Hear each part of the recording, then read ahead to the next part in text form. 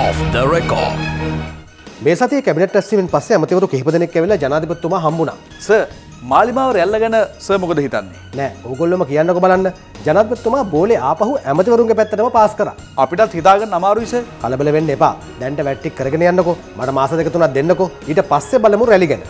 දැනට වැදගත් වෙන්නේ නල්ල රැල් තමයි ජනාධිපතිතුමා කතාව නැවැත්තුවේ පොඩි විහිලුවකුත් කරන ගමන්. එජාපේ කළමනාකරණ කමිටුව රැස් වෙච්ච වෙලාවෙත් ඡන්ද ගැන කට්ටිය ජනාධිපතිතුමාගෙන් ඇහුවා. දැන් සමහරු කිව්වනේ මං එන්නේ නැහැ කියලා. ඒ වගේම කිව්ව ඡන්දේ කල් දානවා කියලා. සමහරු කිව්වේ ඡන්දේ තියන්නෙම නැහැ කියලා. කොහොමත් ඉතින් ඡන්දේ තියෙන වෙලාවට තියෙනවනේ. Off the record. ජවිප දැන් ගමට යන්න පටන් අරන්. ළඟදී දකුණේ ගමකට යනකොට ලස්සන වැඩක් වුණා. අන්ඩු සහෝදරයා නිතර කියන වචන සෙට් එකක් ලස්සනට කියන ළමයෙක්ව කට්ටියට හම්බෙලා. දැන් කල්පනා කරලා බලන්න. අන්න ඒ වගේ වචන ළමයා ඒ ස්ටයිල් එකටම කියනවා. අන්ඩු සහෝදරයා දරුවව අගය කළා. දරුවත් එක්ක සෑහෙන වෙලාවක් කතා කළා. ළඟදී යුරෝපා සංගමේ තානාපතිවරියත් අන්රව හම්බුණා. ඒ වගේම අන්ඩු සහෝදරයා ළඟදිම යුරෝපා සංචාරයත් ආරම්භ කරනවා. මේක පිටිපස්සේ ජනාධිපති රනිල් වික්‍රමසිංහගේ විශ්වාසවන්තයෙක් වන හිටපු ඇමති මලික් සමරවික්‍රම ඉන්නවා කියලාත් කට්ටිය කතා වෙනවා. කරුණම්මාන් වෙන් කරන්න කරපු දේම අන්රටත් කරනවද කියලායි කට්ටිය කතා වුණේ. Off the record. ඉන්දිය සංචාරය අතරතුර නාමල් රාජපක්ෂ මන්ත්‍රීවරයා ලක්නව් ආවා කියලා ප්‍රාන්ත මහමැති යෝගී ආදිත්‍යනාත් දැනගත්තා. නාමල් එන්න මාව හම්බෙන්න. යෝගියෙක් වෙච්ච යෝගී ආදිත්‍යනාත් ලංකාව ඉන්දියාව වගේම රාමායනය ගැනත් දිග දේශනයක් නාමල්ට දුන්නා. දැන් නාමල්ටත් මොනවද කියන්න බෑ.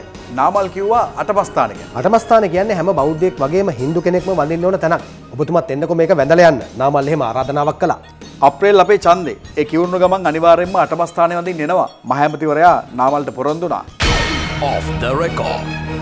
සමග ජනබලවේගේ ජේෂ්ඨ පිරිසක් මේ සතියේ හදිස්සියම විපක්ෂ නායක සජිත්ව හම්බුණා. විපක්ෂ නායකතුමා ඇත්තටම මේ ෆීල්ඩ් මාෂල්ගේ හැසිරීම පක්ෂයට ලොකු ප්‍රශ්නයක්. ඇයි ඔබතුමා ඇක්ෂන්යක් ගන්න නැත්තේ? මෙහෙමයි මට පක්ෂ නායකයෙක් විදිහට වගකීමක් තියෙනවා. සීමාව ඉක්මවා ගියොත් කරන්න දෙයක් නැහැ. කාගේ කාගෙත් පිටිපස්ස ඉන්නේ කවුද කියලා මම හොඳට දන්නවා. ඔබතුමා ඉන්දියාව යනවද? ජේෂ්ඨෙක් සජිත්ගෙන් ඇහුවා. නෑ නෑ දැනට නම් එහෙම සූදානමක් නෑ. මේ අතර හිටපු ජනාධිපති මෛත්‍රීපාල සිරිසේන ඇමරිකාවට ගියා හදිස්සියම. ඒ ගියෙත් ඉන්දියාව හරහා. සර් මොකද හදිස්සියේ කීප දෙනෙක්ම ගමන ගැන ඇහුවා. මෙහෙමයි මට පෞද්ගලික වැඩකුත් තියෙනවා. බලමුකෝ ඉතින් ගිහින් ආවට පස්සේ එහෙම කියපු මෛත්‍රී මේ ගමන ගැන හරි උත්තරයක් නම් දීලා නෑ. හැබැයි ඇමරිකාවේ ඉහළ පෙළේ නිලධාරීන් කීප දෙනෙක්ම හම්බෙලා ලංකාවේ දේශපාලන තත්ත්ව ගැන එතුමා කතා කළා. Off the record. පහුගේ දවසක තිබ්බ මාතලේ සම්බන්ධීකරණ කමිටු රැස්වීමට ඇමති ප්‍රසන්න රණතුංග එක්ක ප්‍රමිත බණ්ඩාර තෙන්නකොන් රාජ්‍ය ඇමතුමත් එකතු වෙලා හිටියා. මම කියන්නේ ප්‍රසන්න ඇමතුමා කියන දේව තමයි. අපි පොහොට්ටුව ශක්තිමත් කරන ගමන් ජනාධිපති රනිල්ට උදව් කරන්න ඕනේ. ඒ වගේම ගොඩක් අය කියනවා ඔය හදන්නේ අලිය පිට නගින්න කියලා. කොහොම වුණත් ධම්මික පෙරේරා පොහොටුවේ ජනාධිපති අපේක්ෂකයා වුණොත් මම නම් සපෝට් කරන්නේ නැහැ. පොහොට්ටුවේ ගොඩක් තරුණ මන්ත්‍රීවරු ඉන්නේ ඒ මතේ. ප්‍රමිත එහෙමත් කියලා තිබ්බා. Off the record. හිටපු ජනාධිපතිනී චන්ද්‍රිකා චම්පික රණවක මන්ත්‍රීවරයාගේ නම වැඩපිළිවෙලක් එළිදක්වන වැඩේට ඇවිල්ලා ඉස්සරහම ඉඳගෙන හිටියා. හැබැයි ඊට පොඩ්ඩකට කලින් එතුමිය මාධ්‍ය නිවේදනයකුත් නිකුත් කළා. මම ඔය එක ජනාධිපති අපේක්ෂකයට සහාය දෙනවා කියලා කිව්වට තාම එහෙම තීරණයක් නැහැ. එහෙමයි ඒකේ තිබ්බේ. මල්පාරිනම් මෙහෙවන මීඩියා කැම්පේන් එකකින් චන්ද්‍රිකා රනිල්ගේ සහයට සන්ධානයක් හදනවා කියලා ප්‍රචාරයකුත් යවන බව කියනවා.